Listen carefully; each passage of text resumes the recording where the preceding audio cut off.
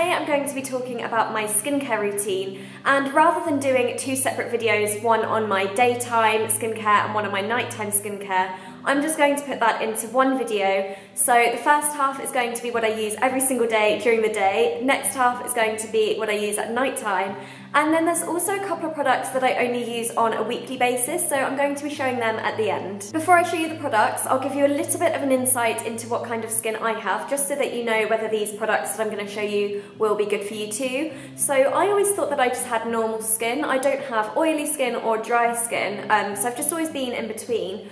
But I recently had a facial last week at the W Hotel in London by a lady called Suman, who also has her own line of skincare products. And she put this camera on my skin and it came up onto her laptop screen and it showed that I had quite dry skin.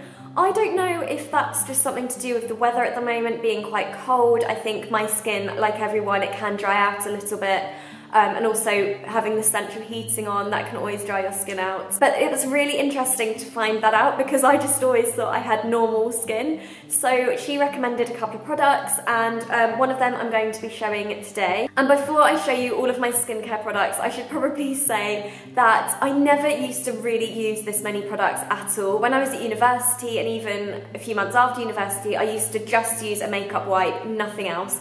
I was really bad. I didn't even use moisturiser. I just didn't really see the point. I used a makeup wipe to remove my makeup and then that was that. That was my skincare. And it's just really not very good for your skin. I'm all about looking after your skin now while you're young um, to prevent any kind of skin damage in the future or premature aging. So that's why I do use quite a lot of skincare products. Maybe not as many as most people or a lot of people, um, but to me this is a lot of products and I don't want you to watch this and be like, oh my god, you use so much on your skin. But it's just all about looking after your skin. I think it's worth the money investing in some really good skincare products.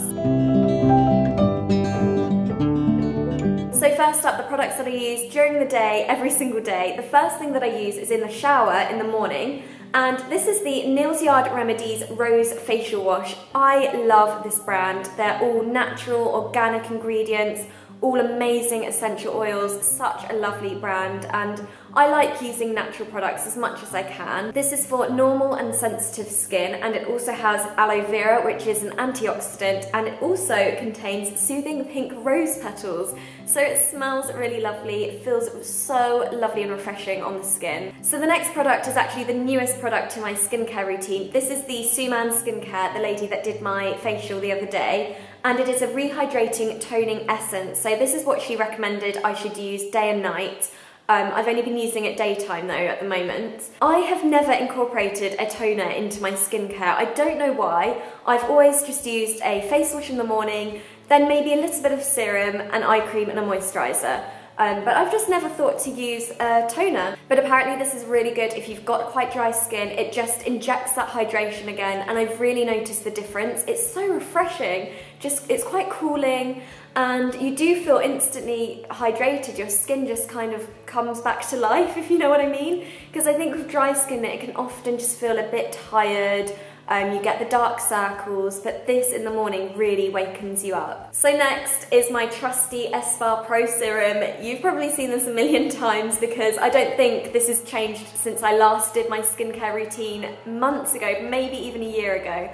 I've always used this in the morning, only about one or two drops, like a little bit really goes a long way. And it adds that hydration again that I feel like I need. It just makes my skin feel brighter and it also evens skin tone. So yeah, I'm still loving the ESPA Pro Serum. We're going strong. Next I use an eye cream and at the moment I'm using the Kate Somerville Age Arrest Eye Cream and I know a lot of you are going to hear the words age arrest and think why on earth are you using anti-wrinkle eye cream? Um, the reason I use this is because it's so refreshing. I love the way that it feels on my eyes. Um, I get quite dark circles under my eyes and this seems to just really help with that. The lighting is so bad today. I'm working with natural light and that's never a good thing in the UK. The sun just doesn't know what to do. If I move over here, I'm like full on a ghost.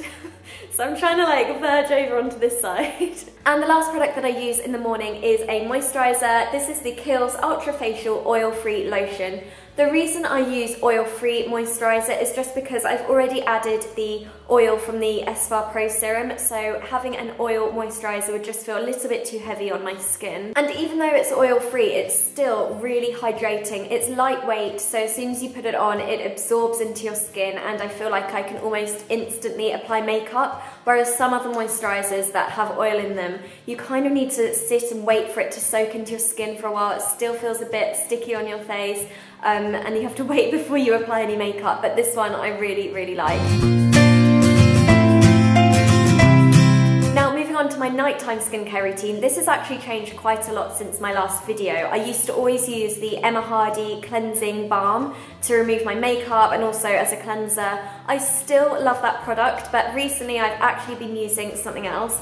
Um, it's the Liz Earle Cleanse and Polish Hot Cloth Cleanser. This you apply onto dry skin and just rub it all over your face and it even removes mascara, all of your eye makeup, even waterproof mascara I found it removes. And then you use a muslin cloth that it comes with and you just put this under the hot tap uh, squeeze out the excess water and then just rub this all over your skin to remove the product and any makeup and even though it's really gentle, it kind of acts like an exfoliator. You just feel like you're really removing any makeup that may usually be left over from, say, a makeup wipe. It just gives a really deep clean and your skin feels so soft afterwards. So I would highly recommend this product if you're looking for a cleanser or makeup remover. Next I'll use an eye cream and I'm still using the Tarte Maracuja Eye Treatment. This is running so low. I reckon I could probably get one more use out of this tonight and then it's done. I need to get another one. But this is a really rich eye cream and that's why I use it at night time rather than daytime. This just feels a little bit more indulgent, like it's really doing its job. Again, the ingredients are lovely. It has maracuja oil in there. Tarte is a lovely skincare brand and makeup brand actually. I use a lot of their makeup products. All lovely natural ingredients and I've always loved this brand. And for my nighttime moisturizer, I'm using the First Aid Beauty Ultra Repair Sleeping Cream. This is really thick and indulgent, almost similar to what I said about the Tarte eye cream. It just really feels like it's doing the job. It's fragrance free, it's such a simple moisturizer and that's why I love it. You get so many fancy moisturizers in like beautiful extravagant bottles and they just don't really do the work. They look amazing but when they're on the skin they don't really do much um, and the reason I like this brand is because it's just so simple. There's no fuss about it. It is what it is and it really works. And they're not too expensive at all as well. But I just like using this every single night. In the morning, my skin feels really soft and it feels firmer as well. You know when you're, you're really tired and your skin can just feel a bit like lifeless? Using this at night, by the next morning, it feels really lovely again. Have a couple of products that I use on a weekly basis or a couple of times a week, but just not every single day. The first one is the Kate Somerville ExfoliKate. I actually already showed this in my last video, which was the 2015 favourites. So I had to show this again because it's obviously a skincare product. I use this, I'd say once or twice a week. It's the one that smells like mince pies. If you watch that video, you'll know what I mean. It just smells absolutely amazing and it acts almost like a mask when you're in the shower. So I'll use this in the morning, um, gently exfoliate my skin with it, and then I'll leave it on while I wash my body and do whatever else, and then wash it off and you really feel like you have brand new skin afterwards. It's such a lovely product. And exfoliators you definitely don't need to use every single day. I think it can be a bit too harsh for the skin, so once or twice a week is perfect. Okay, the next thing is by far the most extravagant thing that I'm gonna show you and the most indulgent, but I think it might be my favorite. It is the Sunday Riley Luna Sleeping Night Oil. This is like a miracle product. I'm in love with it. It's bright blue, so the, the actual oil is blue don't know if you can see there. And you just use a few drops, smooth it all over your skin, and it does give a kind of blue tinge to your skin. It's quite strange at first, but you do get used to it, and you do look a little bit like a smurf. and I don't use any other products with this, so I'll use the Liz Earle cleanser to remove all of my makeup, and once I feel like my skin is clean, that's when I'll use this, and I don't use an eye cream or the moisturizer with it, literally just the oil um, go to bed, sleep in it, and then by the morning you don't look blue anymore, which is always a plus, but your skin just feels brand new. You know that baby skin feeling. And sometimes when a bottle is this pretty and it's blue, I'm, I kind of think, oh, is it just a gimmicky thing? But honestly, this works absolute wonders. And lastly, I have the Clarisonic. It's the Smart Profile one. I only use this about once or twice a week.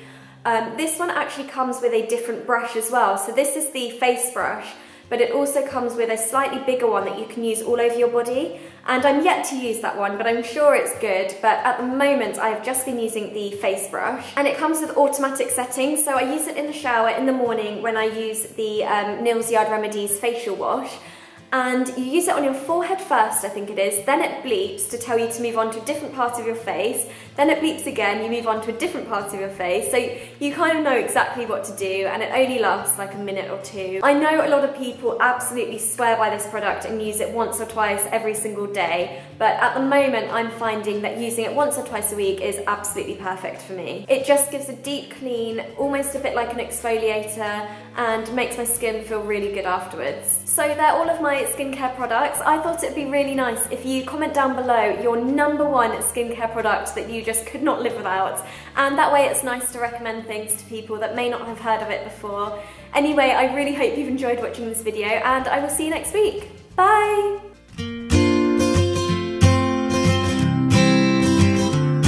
Happy New Year everyone! I hope you all had an amazing New Year's Eve, whatever you got up to.